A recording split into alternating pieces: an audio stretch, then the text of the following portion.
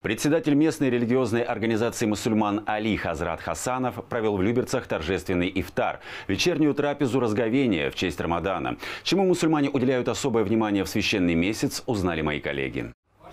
Для мусульман всего мира священный Рамадан начался 23 марта. Это месяц поста, молитв и приобщения к традиции. Мусульманская община совместно с татарской автономией городского округа Люберцы собрались за общим столом, чтобы помолиться и провести ифтар. Ифтары, они объединяют воочию, без фонограммы, общение людей друг с другом. Люди видят глаза друг друга и рассказывают о своих житейских делах. Вот это общение соединяет вместе Рамазан людей для того, чтобы люди все-таки жили в Люберецком районе слаженно, в добре, в понимании друг друга. Приняла участие в ифтаре и поздравила мусульман с Рамаданом председатель комиссии по межнациональным и межконфессиональным отношениям Общественной палаты городского округа Люберцы Екатерина Дегтярева. Вне зависимости от того, что происходит в мире и э, что происходит с человеком, все равно человек создан для того, чтобы творить добро.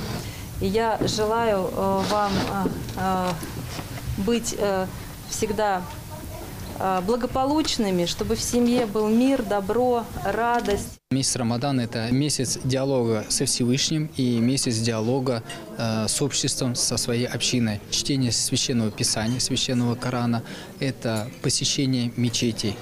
А, а, а месяц общения – это месяц общения со своей общиной, то есть это значит, посещение ифтаров, то есть это разговение, совместное разговение. И а, посещение э, также специальных молитв, таравих намазов, где люди а, приходят в мечеть и в течение всего месяца стараются посещать мечеть и общаться со своими братьями. Священный месяц Рамадан завершится 21 апреля праздником разговения Ураза Байрамом. Богдан Колесников, Денис Заугольников, телеканал ЛРТ.